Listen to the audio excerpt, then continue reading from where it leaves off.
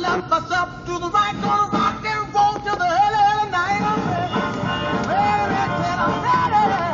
Ready, till I'm ready. Ready, till I'm ready, ready, ready to rock and roll. 50s on 5 Sirius XM with Little Richard. Both sides of the Wilbert Harrison 45 coming up for you in three minutes. First, here's Ray Charles at 50s on 5. Oh, I was lying in the and I was burning up inside. My baby walked in my bedroom, and I could hardly open my eyes.